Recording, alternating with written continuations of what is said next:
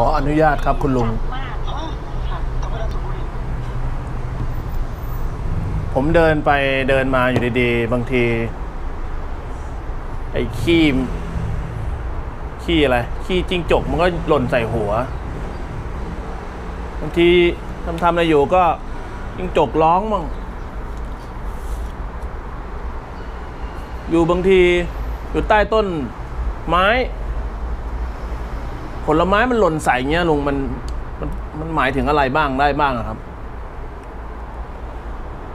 เราจะไปหา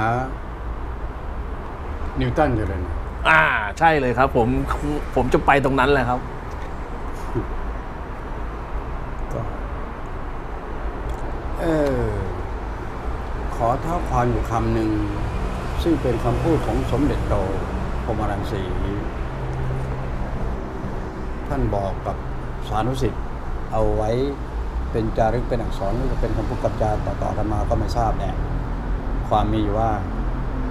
เมื่อบุญของเจ้ามาถึงอะไรก็ห้ามเจ้าไม่ได้เนี่ยคำนี้มันก็น่าจะหยุดคิดชนิดหนึ่งในทางกลับกันถ้าบอกว่าถ้ากรรมวิบากกรรมของเจ้ามาถึง อะไรก็ห้ามเจ้าไม่ได้เช่นเดียวกัน บุญกับกรรมก็คู่ขนานกันมาตลอดตั้งแต่ไหนๆแล้วแหละ นะครับ มาถึงไอ้ตรงนี้ นั่งอยู่เฉยๆบ้านช่องหับแล้วก็ที่เราอยู่ๆก็จิ้งจกทักแก๊กแก๊กแก๊กแก๊กแก๊กสังเกตแล้วก็จะไม่รู้ว่าจิ้งจกมันร้องมาเพราะอะไร แต่ถ้าเป็นการสังเกตเกิดขึ้นนะว่าวินาทีที่กำลังอยู่ในห้องน้ำคนเดียวเนี่ย จะหนักจะเบาอะไรสุดแท้แต่เถอะเนี่ย เราคิด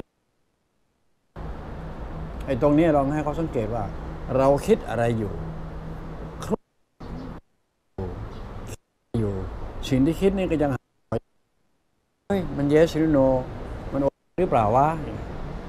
อยู่ๆก็จิ้งจก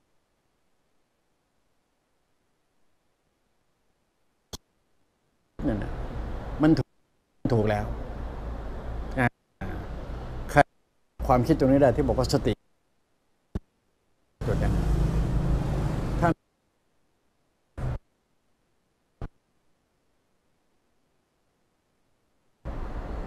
เหมือนกับ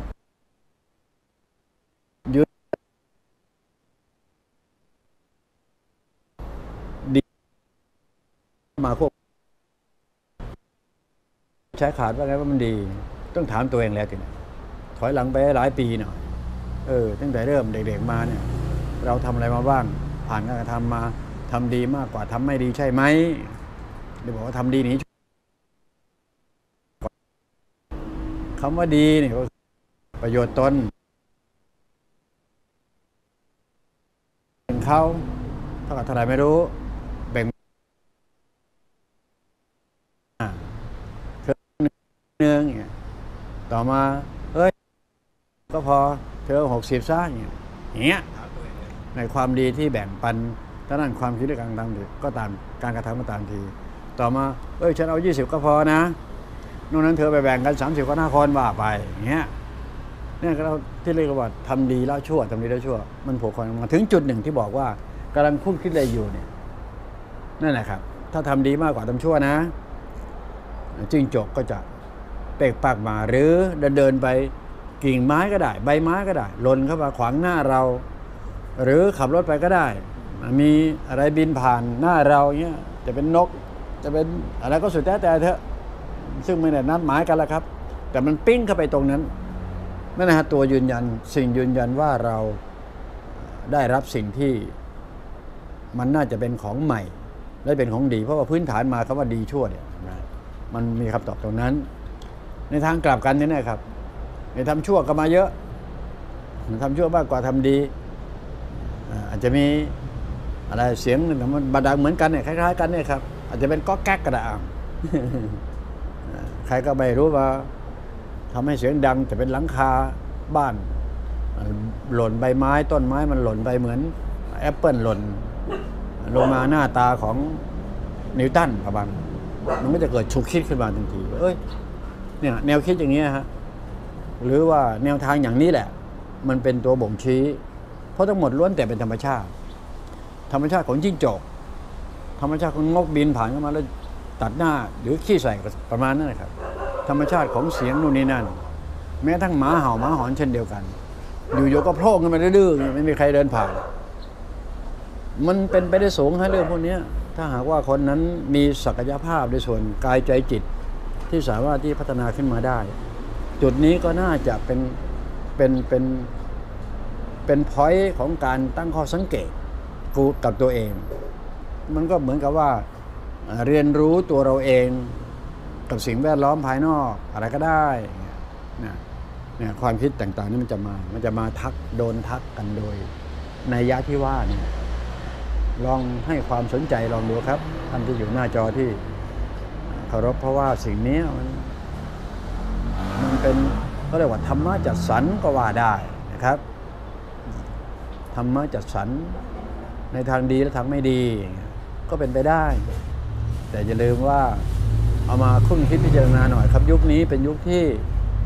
ยังไงยังไงก็พยายามหาวิธีทำให้ตัวเองเข้าใจตัวเองให้มากยิ่งขึ้นมิฉะนั้นแล้วไอ้สิ่งแวดล้อมที่มันมาโดยที่ไม่รู้ตัวไม่เห็นตัวเลยครับยิ่งเรื่องคลื่นเลยครับ มันจะถาโถมเข้ามาหาเรา โดยที่เราไม่รู้ตัวเสร็จแล้วมันก็มาตกตะกอนนอนก้นทำตัวเราเนี่ยเกิด ที่เขาว่าวิปริตนั่นนะครับ แต่ถ้าหากว่ามาฟังลุงออกตรงนี้แล้ว สิ่งที่มันผ่านมาตรงนั้นก็น่าจะคลี่คลายไปได้สำหรับคนที่มีภาวะอย่างที่ ลุงออกเล่าให้ฟังตรงนี้ ก็เป็นการปรับเป็นการเปลี่ยน เป็นการปรับแก้ก็ได้เหมือนกันนะฮะในคำถามกันแค่ อะไรต่างๆมันทักดุนนี่นั่น มันก็เป็นอุทาหรณ์ก็ว่าได้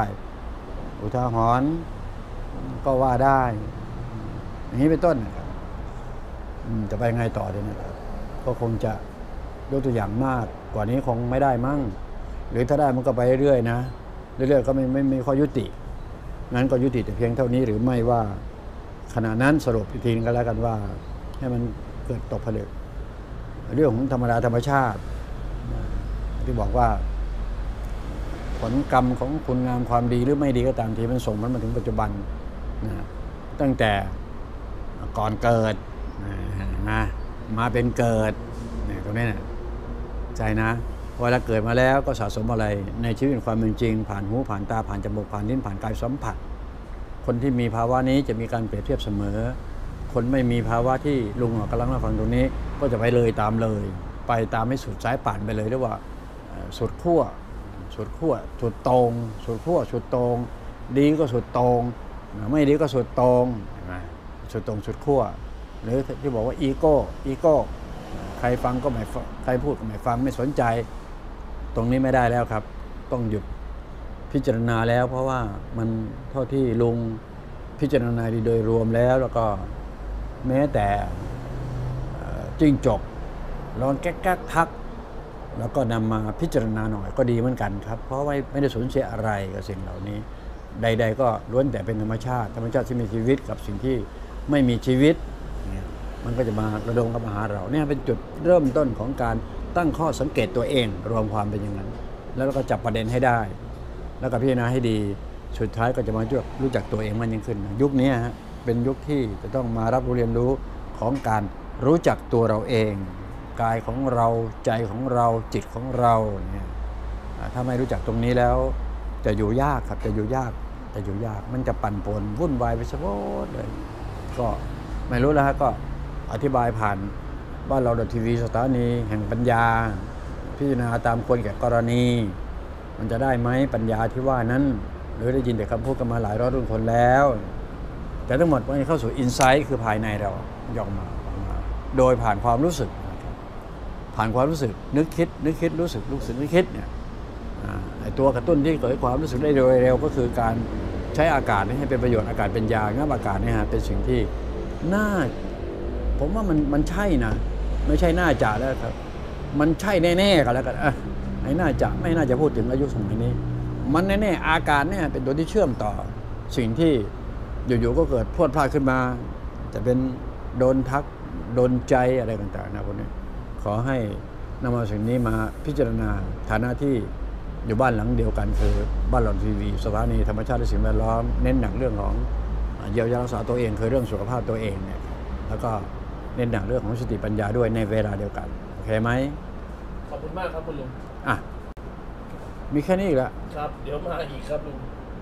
เออแล้วงั้นเหรออะงั้นก็สาธุอามินอเมนโอบและอมิตรพูดจบข่าวครับผม